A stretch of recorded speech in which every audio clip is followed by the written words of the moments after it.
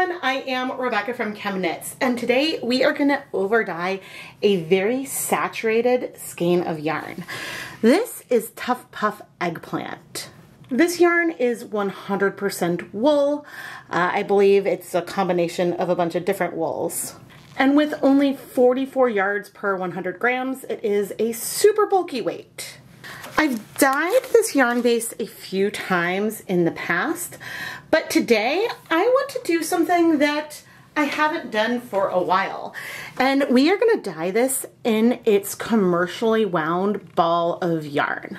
There are many times I like to do a technique called cake dyeing where I will wind yarn into a yarn cake and then dye that. And you get an asymmetric colorway because most of the dye can access the outside of the yarn and less can get into the center.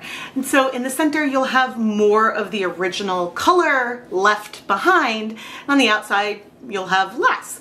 Plus, you can get some really cool uh, and stuff from where the yarn crosses over itself. And if you're buying yarn to over dye it, you can do this kind of technique starting with the commercially wound, machine wound ball of yarn versus winding it yourself. And well, we'll see what kind of effects we get here today.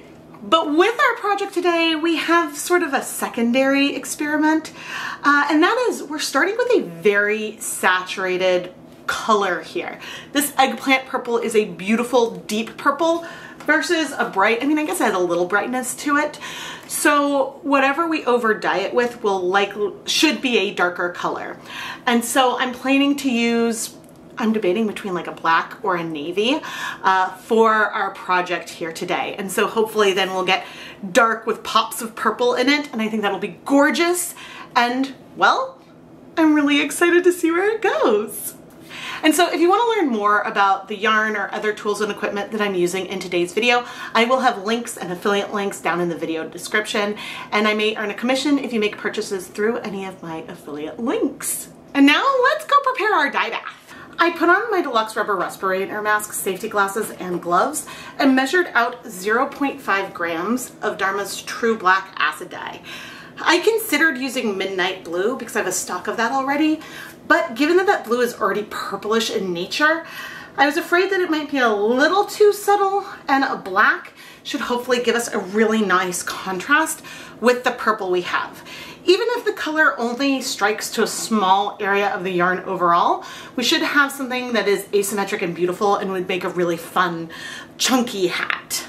I dissolved the dye with some hot tap water, not worrying about the final volume because I'm planning to add 100% of this to our dye bath. I have 16 cups of water in this 8 quart dye pot that's dedicated for dyeing yarn. It's never used for any food prep. And we're heating it up and to this I want to add Let's do six tablespoons of white vinegar. Four, five, six. Normally I might start with a ratio with my personal tap water of two cups, uh, sorry, of two tablespoons of white vinegar per eight cups of water, but given that this yarn is non-superwash and is in ball form, more acid isn't a bad thing. Of course, we could always add the yarn and then add acid after, uh, there are many different ways you could go ahead and set this up. But let me go rinse out the cup. In case it wasn't obvious, that was the 8 gram, 8 grams, oh my goodness, the 0.5 grams of dye we had just measured. Now the dye bath is not warm yet, which is why I can stir it with a plastic spoon. Uh, otherwise, don't do that.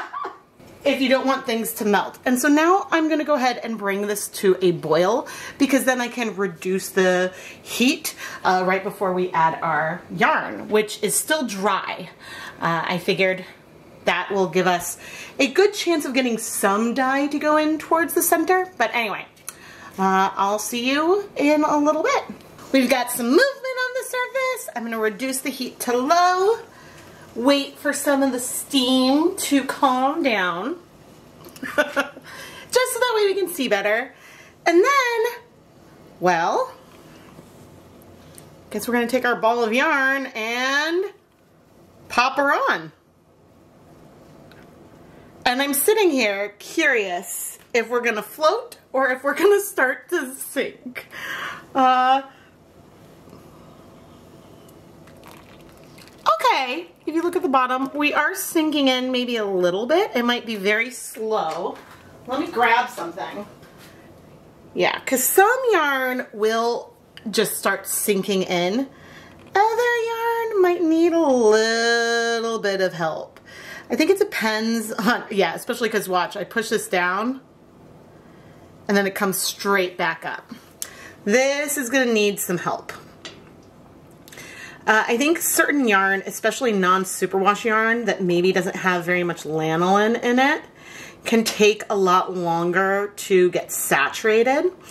Uh, which means that that can help us get more uneven color coverage sometimes and can be fun. But I think we've also got, well, clearly you can see those bubbles coming out, a lot of air in here as well which is also causing her to float.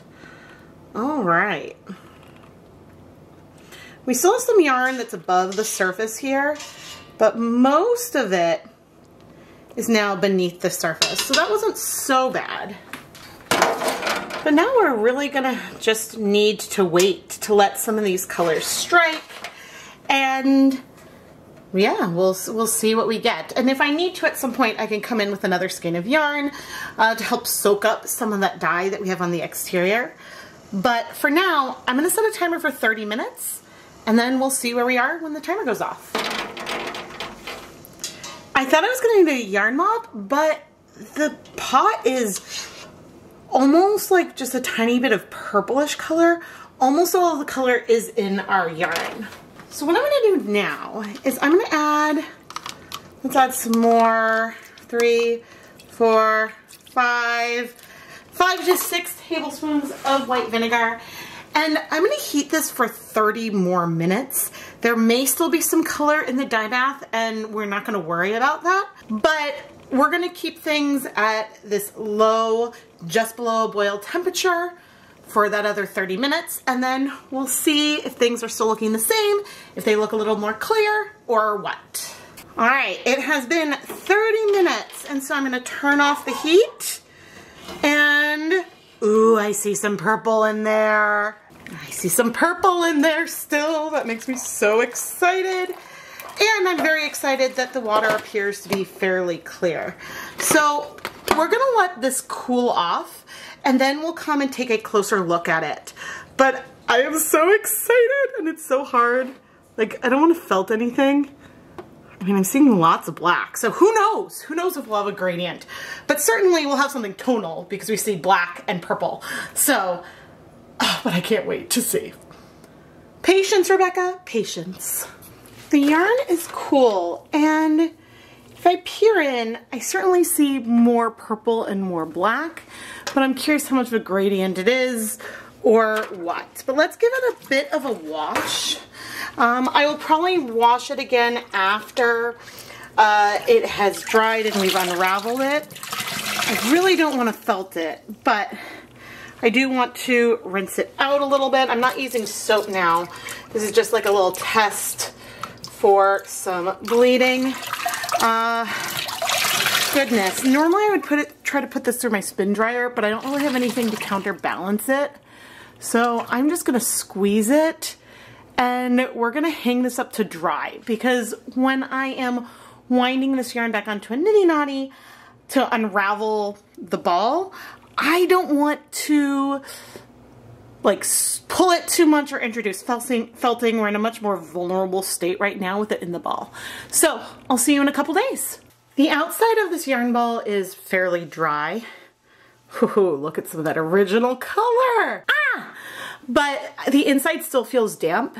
However, I am gonna wind this by hand onto a niddy noddy so we can get a bit of a feel for the gradient if there is one, or at least the color progression. We actually did get a gradient. I'm so excited. There is some modeling and a little bit of some reverse speckling in here because of the resist of the way the ball was wound.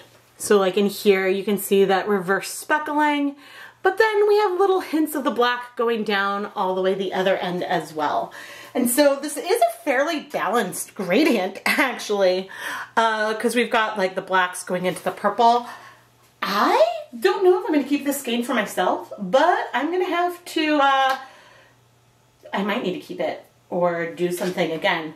I'm forgetting the total number of grams that I had here, but I'm very excited and would love to see how this works up. The only reason why I put the skein on the niddy noddy like this, which is not a very nitty naughtyable type of way, was so that way um, we could look at the color progression because once I turn it back into a skein uh, and we go wash it, uh, you won't be able to feel that gradient as cleanly. I mean, you can still tell that it's there, but it's harder to say uh, that it is as asymmetric. But so let's go wash this. With any cake dyeing or asymmetric yarn dyeing, I usually wash it at the end. Sometimes that is off camera though, because it just depends on uh, the way that the filming goes. But I'm washing it now here, uh, mainly because, well, it was damp and so I might as well wash it, right? But I am curious to see with the addition of soap if we'll see any color come out. Because in theory, we could get some bleeding from that purple as well. However, we are in luck. No bleeding. That's great. I'm now gonna rinse out the soap, uh, put this yarn through my spin dryer, and hang it up to dry for real so we can have some final conclusions. I washed it and it's dry and we are not felted. Woohoo! I am Rebecca from ChemKnits and compared to other types of cake dyeing, this is one that is super easy for you to replicate at home because you can buy the same commercial bound ball of yarn that I did. And so that is a closer recreation because if you're winding your own yarn cake or ball of yarn, you can wind it tighter or looser and that can affect your results. So I challenge you to try this yourself and let me know how it turns out. Please subscribe and turn on notifications so you never miss a new video. I post at least twice a week and we do live streams and other fun things and so you really don't want to miss any of it. But if you would like to support this content on another level, you can join to become a channel member. All channel members get to use the custom ChemKnits emotes in live stream chats and in the comment section. Plus you get a badge next to your name. And at the postdoc level, you also get early access to the Dye-Pot PS series, plus a behind the scenes live stream every month. Now those postdoc level, those rewards overlap with some of the rewards I have over on Patreon. But if you click on the join button on YouTube, then you should have a little video from me where I will talk about all of it. But boy, oh boy, do I love a good, super bulky single ply yarn. Oh, and these are my favorite colors. goodness, I love this. And again, it's nice to know how easy this would be for me to replicate uh, with the conditions and to get something very, very similar. And so you never know, you might just find this skein over in the ChemKnits Creations Etsy shop. That is if I didn't keep this one for myself. Thank you so much for watching.